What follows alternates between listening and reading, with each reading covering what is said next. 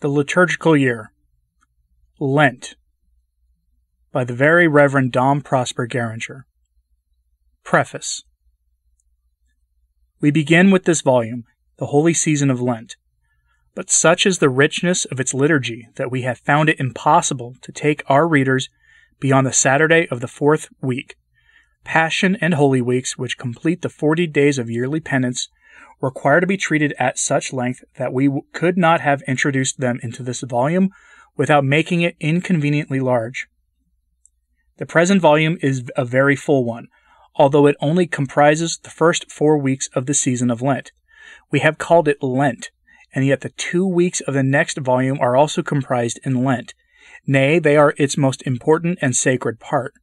But in giving the name of Lent to this first series, we have followed the liturgy itself which applies this word to the first four weeks only, giving to that two that remain the names of Passion Week and Holy Week. Our next volume will, therefore, be called Passiontide and Holy Week. We fervently hope that our readers who have entered into the spirit of the Church during Septuagesima will do the same for the season which now begins, and for this end they should attentively study the lessons from the Scripture, selected by the Church for each day. To these epistles and gospels we have added our humble comments. Such is the richness of the instruction contained in these venerable Lenten instructions, that we might have written a volume for each week, and yet we have been obliged to content ourselves with a few short words for explanation. There are so few persons nowadays who have a knowledge of the sacred scriptures that frequently what was most familiar with our Catholic forefathers is perfectly ignored by those of the present generation. May God deign to bless these feeble efforts and give to our people the spirit of understanding of holy things, which supports faith and makes practice fervent. Chapter 1 The History of Lent. The 40 days fast, which we call Lent, in most languages, the name given to this fast, expresses the number of the day, 40, but our word Lent signifies the spring fast, for Lenten tide in the ancient English Saxon language was the season of spring. Is the Church's preparation for Easter and was instituted at the very commencement of Christianity. Our blessed Lord himself sanctioned it by his fasting forty days and forty nights in the desert, and though he would not impose it on the world by an express commandment, which then could not have been open to the power of dispensation, yet he showed plainly enough by his own example that fasting which God had so frequently ordered in the Old Law, was to be ch- practiced by the children of the New. The disciples of St. John the Baptist came one day to Jesus and said to him, Why do we and the Pharisees fast often, but thy disciples do not fast? And Jesus said to them, Can the children of the bridegroom mourn as long as the bridegroom is with them? But the days will come when the bridegroom shall be taken away from them, and then they shall fast. See Matthew chapter 9, chapter 9 verse 14 to 15. Hence, we find it mentioned in the Acts of the Apostles how the disciples of our Lord, after the foundation of the church, applied themselves to fasting. In their epistles also they recommended it to the faithful, nor could it be otherwise. Though the divine mysteries whereby our Saviour wrought our redemption have been consummated, yet are we still sinners, and where there is sin there must be expiation. The apostles therefore legislated for our weakness, by instituting at the very commencement of the Christian Church that the solemnity of Easter should be preceded by a universal fast, and it was only natural that they should have made this period of penance to consist of forty days, seeing that our divine Master had consecrated that number by his own fast. Saint Jerome, in his epistle, uh, in his twenty, in his epistle, chapter twenty-eight, ad Marcellum, St. Leo the Great in his Sermon on Quadragesima, St. Cyril of Alexandria in his homily on, on the Paschal Tide, St. Isidore of Seville in his De Ecclesiasticus, and others of the Holy Fathers assure us that Lent was instituted by the Apostles, although at the commencement there was no uniform way of observing it. We have already seen in our Septuagesima that the Orientals begin their Lent much earlier than the Latins, owing to their custom of never fasting on Saturdays, or in some places even on Thursdays. They are consequently obliged, in order to make up the forty days, to begin the Lenten fast on the Monday preceding our Sexagesima Sunday. The, these are the kinds of exceptions which, prov- which prove the rule.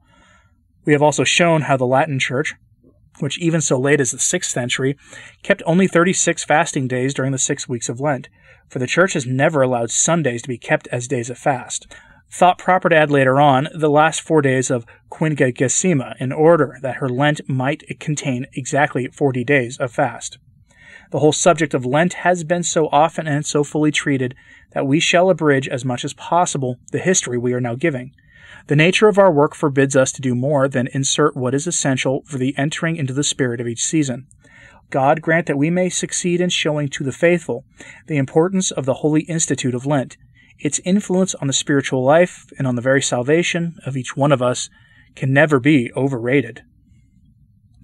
Lent, then, is a time consecrated, and in a special manner, to penance, and this penance is mainly practiced by fasting. Fasting is an abstinence which man voluntarily imposes upon himself as an expiation for sin, and which during Lent is practiced in obedience to the general law of the Church.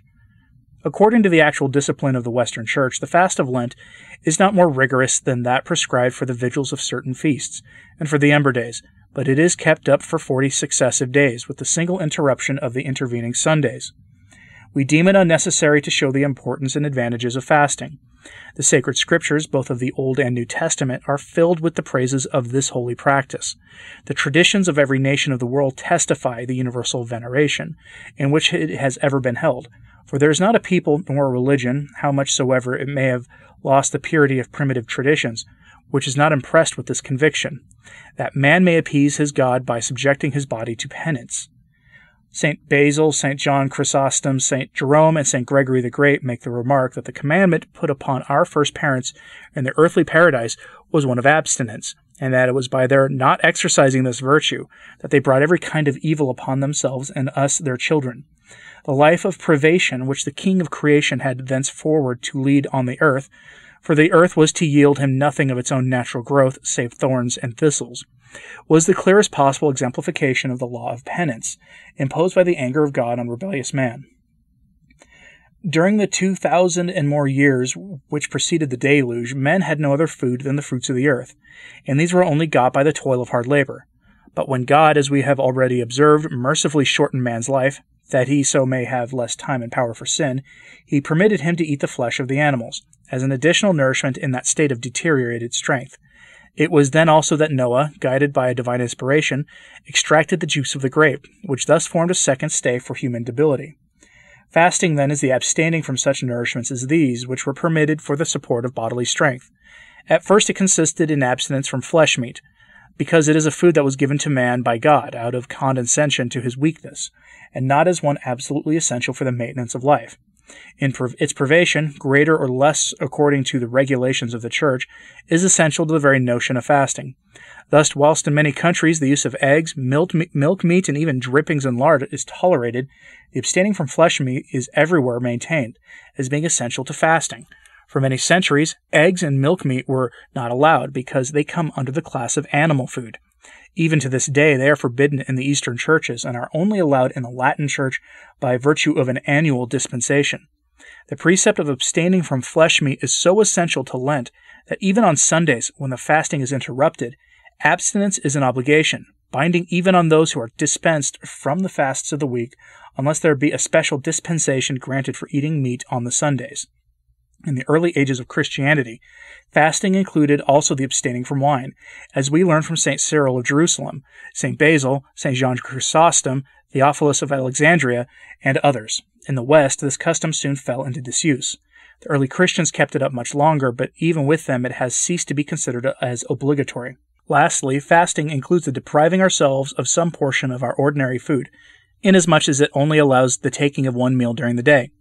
Though the modification introduced from age to age in the discipline of Lent are very numerous, yet the points we have here mentioned belong to the very essence of fasting, as is evident from the universal practice of the Church. It was the custom with the Jews in the Old Law not to take the one meal, allowed on fasting days till sunset. The Christian Church adopted the same custom. It was scrupulously practiced for many centuries, even in our Western countries. But about the ninth century, some relaxation began to be introduced in the Latin Church.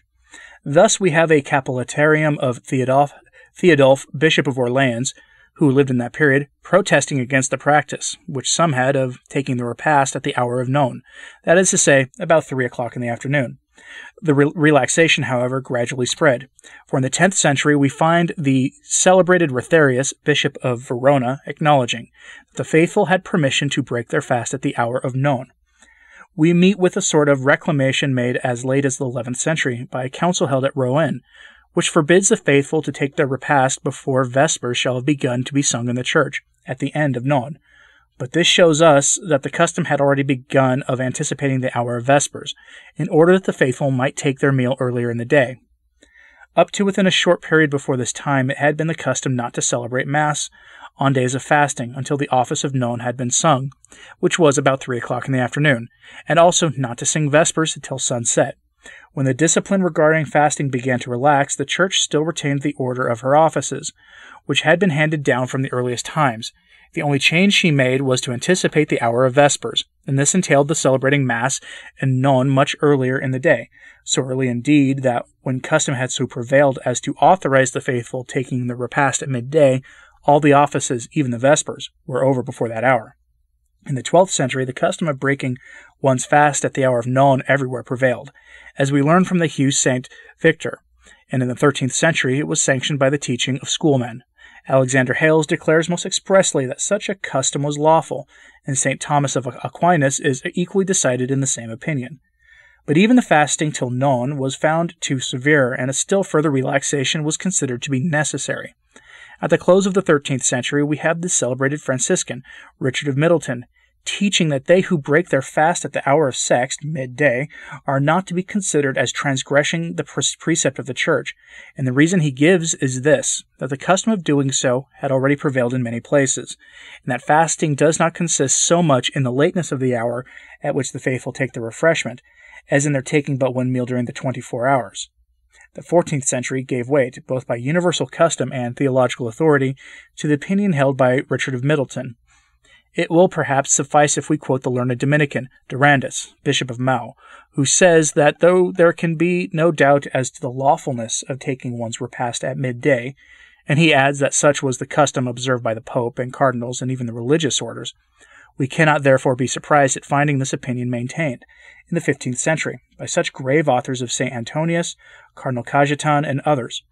Alexander Hales and St. Thomas sought to prevent the relaxation going beyond the hour of noon, but their zeal was disappointed and the present discipline was established, we might almost say, during their lifetime. But whilst this relaxation of taking the repast so early in the day as twelve o'clock rendered fasting less difficult in one way, it made it more severe in another. The body grew exhausted by the labors of the long second half of the twenty four hours, and the meal that formerly closed the day and satisfied the cravings of fatigue had already been taken. It was found necessary to grant some refreshment for the evening, and it was called a collation. The word was taken from the Benedictine rule, which, for long centuries before this change in the Lenten observance, had allowed a monastic collation. St. Benedict's rule prescribed a great many fasts over and above the ecclesiastical fast of Lent, but it made this great distinction between the two that whilst Lent obliged the monks, as well as the rest of the faithful, to abstain from food till sunset, these monastic fasts allowed the repast to be taken at the hour of none, but as the monks had heavy manual labor during the summer and autumn months, which was the very time when the fast till none occurred several days each week, and indeed every day from the 14th of September, the abbot was allowed by the rule to grant his religious permission to take a small measure of wine before Compline, as a refreshment after the fatigues of the afternoon. It was taken by all at one and at the same time during the evening reading, which was called conference, in Latin collatio because it was mostly taken from the celebrated conferences of Cassian. Hence, this evening monastic refreshment got the name of collation. We find the assembly of or chapter of Aix la Chapelle held in 817, extending this indulgence even to the Lenten fast, on account of the great fatigue entailed by the offices, which the monks had to celebrate during this holy season. But experience showed that unless something solid were allowed to be taken together with the wine, the evening collation would be an injury to the health of many of the religious. Accordingly, towards the close of the 14th or beginning of the 15th century, the usage was introduced of taking a morsel of bread with the collation beverage. As a matter of course, these mitigations of the ancient severity of fasting soon found their way from the cloister into the world. The custom of taking something to drink on fasting days out of the time of repast was gradually established. And even so, as early as the 13th century, we have St. Thomas of Aquinas dis- discussing the question whether or not drink is to be considered as a breaking of the precept of fasting. He answers in the negative, and yet he does not allow that anything solid may be taken with the drink. But when it had become the universal practice, as it did in the latter part of the 13th century, and still more fixedly during the whole of the 14th, that the one meal on fasting days was taken at midday, a mere beverage was found insufficient to give support, and there was added to it bread, herbs, fruit, etc. Such was the practice, both in the world and the cloister. It was, however, clearly understood by all that these eatables were not to be taken in such quantity as to turn the collation into a second meal. Thus did the decay of piety and the general deteriorations of bodily strength among the people of the Western nations infringe on the primitive observance of fasting. To make our history of these humiliating changes anything like complete, we must mention one more relaxation.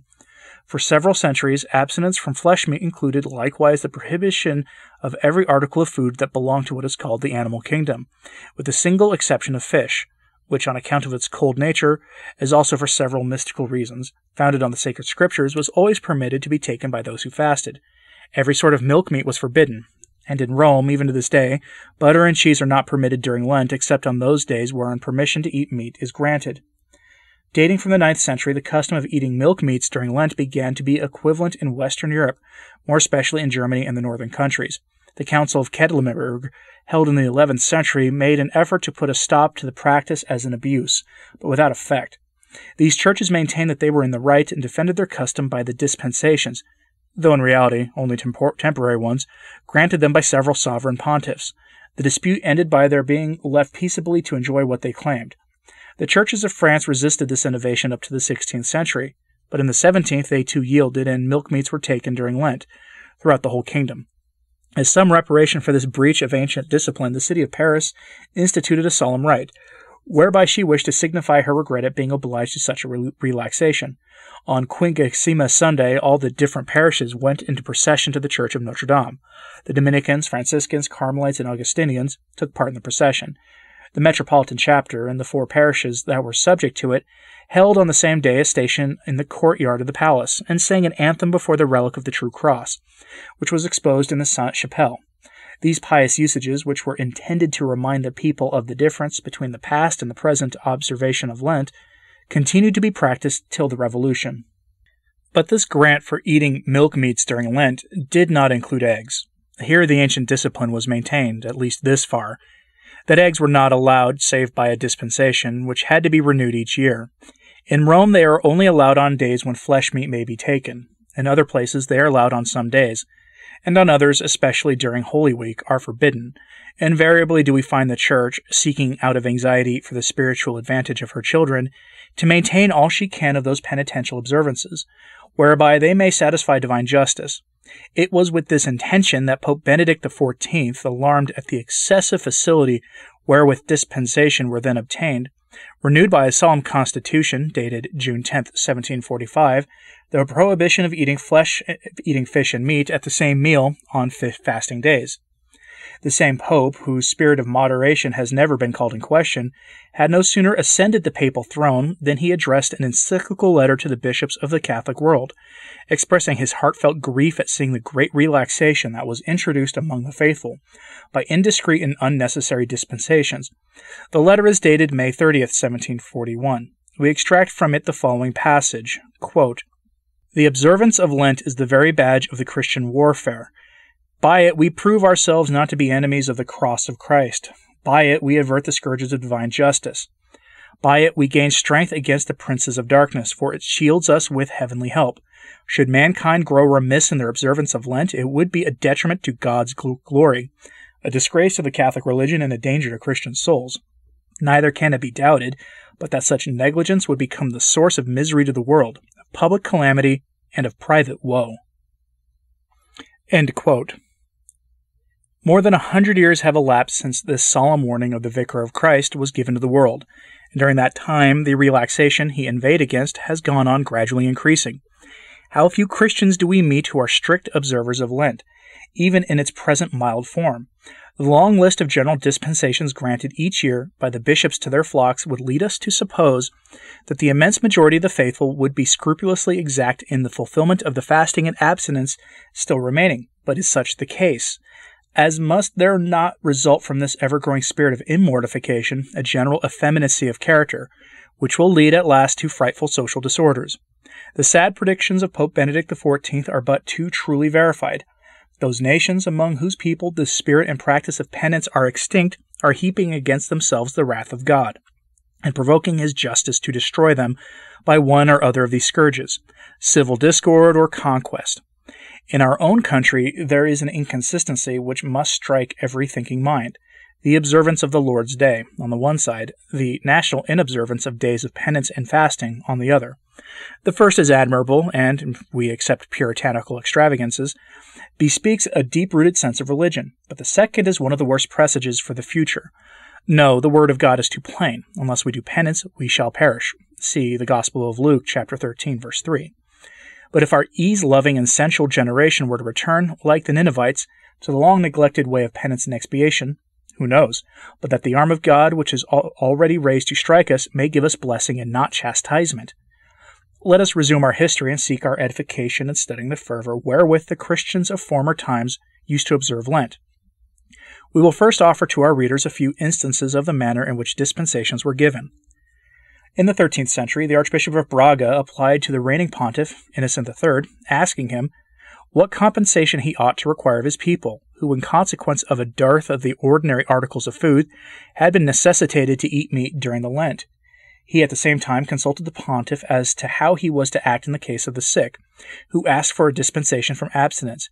The answer given by Innocent, which is inserted in the canon law, is, as we might expect, full of considerations and charity. But we learn from this fact that such was then the respect for the law of Lent, that it was considered necessary to apply to the sovereign pontiff when dispensations were sought for. We may find many such instances in the history of the Church. Wenceslaus, king of Bohemia, being seized with a malady which rendered it dangerous to his health to take Lenten diet, he applied in the year 1297 to Pope Boniface VIII for leave to eat meat. The pontiff commissioned two Cistercian abbots to inquire into the real state of the prince's health. They were to grant the dispensation sought for if they found it necessary, but on the following conditions. The king had not bound himself by a vow for life to fast during Lent, that the Fridays, Saturdays, and the Vigil of St. Matthias were to be excluded from the dispensation, and lastly, that the king was not to take his meal in the presence of others, and was to observe moderation in what he took. In the 14th century, we meet with two briefs of dispensation, granted by Clement VI in 1351 to John, King of France, and to his queen consort. In the first, the Pope, taking into consideration that during the wars in which the king is engaged, he frequently finds himself in places where fish can with difficulty be procured, grants to the confessor of the king the power of allowing, both to his majesty and his suite, the use of meat on days of abstinence, excepting, however, the whole of Lent, all Fridays of the year, and certain vigils, provided, moreover, that neither he nor those who accompany him are under a vow of perpetual abstinence. In the second brief, the same Pope, replying to the petition made him by the king for a dispensation from fasting, again commissions his Majesty's present and future confessors to, defend, to dispense both the king and his queen after having consulted with their physicians. A few years later, that is in 1376, Pope Gregory XI sent a brief in favor of Charles V, King of France, and of Jane, his queen. In this brief, he delegates to their confessor the power of allowing them the use of eggs and milk meats during Lent, should their physician think they stand in need of such dispensation. But he tells both physicians and confessor that he puts in it in their consciences that they will have to answer before God for their decision, the same permission is granted also to their servants and cooks, but only as far as it is needed for their tasting the food to be served to their majesties. The 15th century also furnishes us with instances of this applying to the Holy See for Lenten dispensations. We will cite the brief addressed by Sixtus IV in 1483 to James III, King of Scotland, in which he grants permission to eat meat on days of abstinence provided his confessor consider the dispensation needed. In the following se- century, we have Julius II granting a like dispensation to John, King of Denmark, and to his queen Christina, and a few years later, Clement VII giving one to Emperor Charles V, and again to Henry II of Navarre and to his queen Margaret. Thus were the princes themselves treated three centuries ago when they sought for a dispensation from the sacred law of Lent. What are we to think of the present indifference wherewith it is kept? What comparison can be made between the Christians of former times, who, deeply impressed with the fear of God's judgment and with the spirit of penance, cheerfully went through these forty days of mortification, and those of our own days, when love of pleasure and self indulgence is forever lessening man's horror for sin? Where there is little or no fear of having to penance ourselves for sin, there is so much the less restraint to keep us from committing it. Where now that simple and innocent joy at Easter, which our forefathers used to show when, after their severe fast of Lent, they partook of substantial and savory food. The peace which long and sharp mortification ever brings to the conscience gave them the capability, not to say the right, of being light-hearted as they returned to the comforts of life, which they had denied themselves in order to spend forty days in penance, recollection, and retirement from the world. This leads us to mention some further details, which will assist the Catholic reader to understand what Lent was in the ages of faith. It was a season during which not only all amusements and theatrical entertainments were forbidden by the civil authority, but when even the law courts were closed, and this in order to secure that peace and calm of heart, which is so indispensable for the soul's self examination and reconciliation which, with her offended Maker.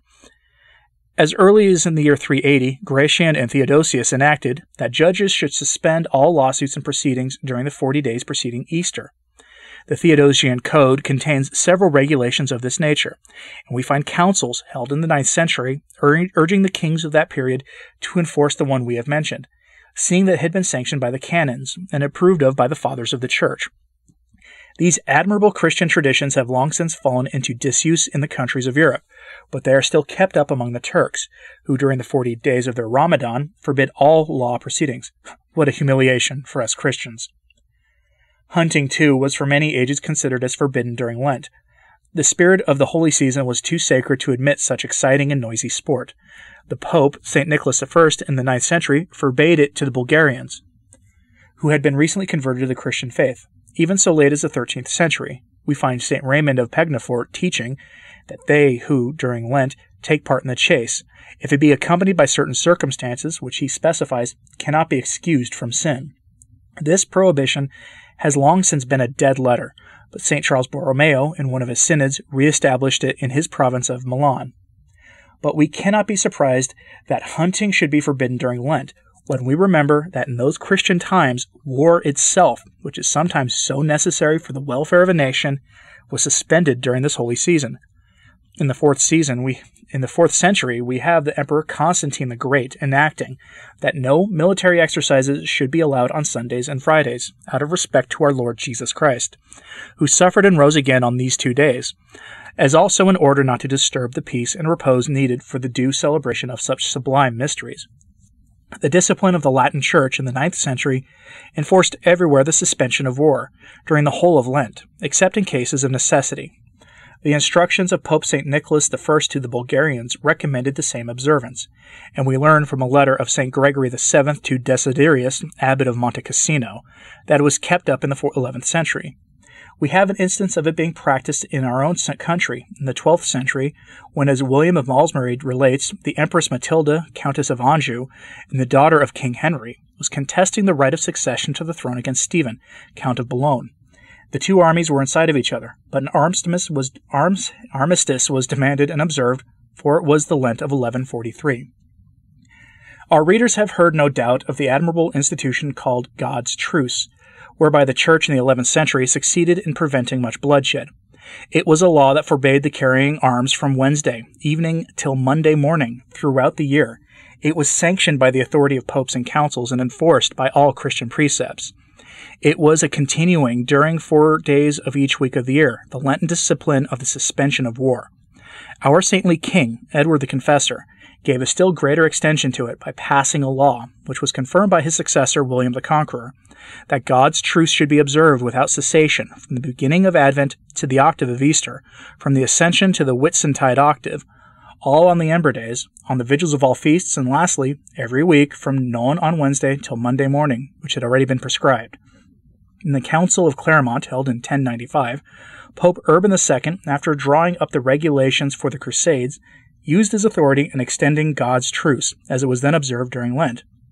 His decree, which was renewed in the council, held the following year at Rouen, was to this effect that all proceedings should be suspended from Ash Wednesday to the Monday after the octave of Pentecost, and in all vigils and feasts of the Blessed Virgin and the Apostles, over and above what was already regulated for each week, that is, from Wednesday evening to Monday morning.